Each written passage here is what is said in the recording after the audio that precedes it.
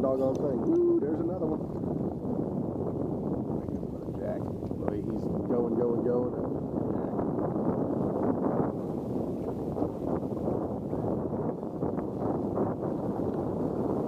Alright, let's peel you. Let's peel you away from where you're at.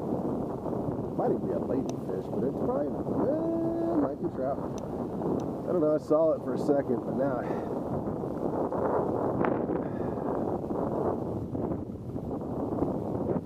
like I was saying, the snook, ooh, they'll train away from you too, kind of like a redfish, you know, trying to strip off and run.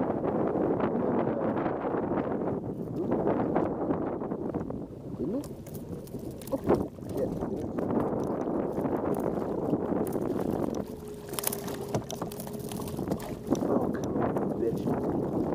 Oh. Oh, yeah. Number three's in the boat, I'm pretty sure. Oh, good lord, look how fat that fish is. Oh, crap. That is a beautiful, beautiful, beautiful fish.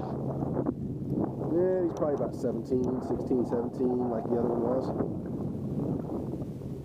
We're to find out. Definitely a keeper. Look, there's the tip. Right at 17, a little over. 17 and a quarter, thereabouts. Doggone, that's awesome. 17 and a quarter inches in the boat.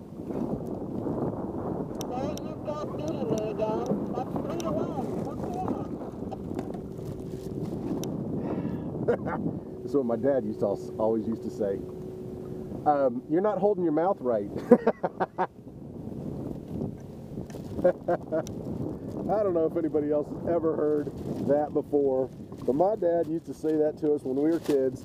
I've heard it before, and uh, you know, now you're not holding. Why am I catching these fish? You're not holding your mouth right. And I gotta tell you, it used to be so doggone frustrating. Because when you're little, you take it literal, you know? You're like, you don't hold your mouth right. So you shift your jaw to one side, the other, in between, push it out, bring it back. Well, I think I gave myself TMJ trying to catch fish. All right. Oh,